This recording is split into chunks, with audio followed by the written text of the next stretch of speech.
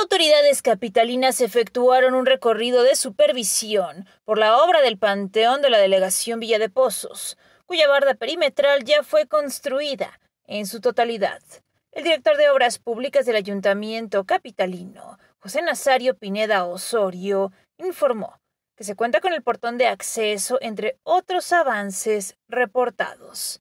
El jardín de iluminación vertical ya se encuentra, falta la jardinería, prácticamente aquí construimos 220 pozos duples. El área de bodega y de recopilación de basura, de recolección de basura que se encuentra ahí en la, esquina, también está al 98%.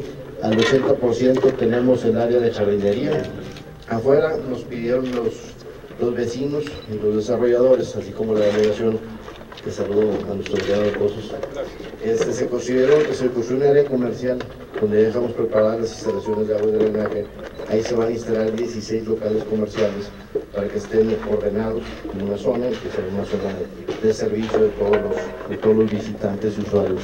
Por su parte, el presidente municipal, Enrique Galindo Ceballos, recordó que el camposanto existente ya no tenía espacio disponible para inhumar.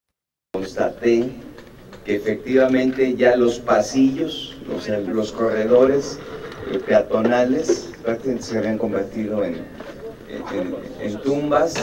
El edil afirmó que este proyecto era impostergable y en breve será inaugurado. Yo me acuerdo que eh, lo dije en serio, pero de broma, dije pues, que, que, ya no se muera nadie porque ya no hay donde enterrarlos. Y digo, pues uno no desea que nadie pierda la vida, y más no teníamos en dónde, en dónde ocupar. Entonces fue una decisión que se tomó en conjunto. Fíjense, son las decisiones que son obra pública que uno, uno, uno nunca quiere hacer un panteón. Yo creo que uno dice, no, pues es lo último que yo quisiera hacer como obra pública. Pero es una necesidad que, que tenía que cubrirse, que tenía que atenderse ya por las condiciones de, del histórico y, y viejo panteón de, Isidro Herrera, Paulino Rodríguez, Noticieros Canal 7.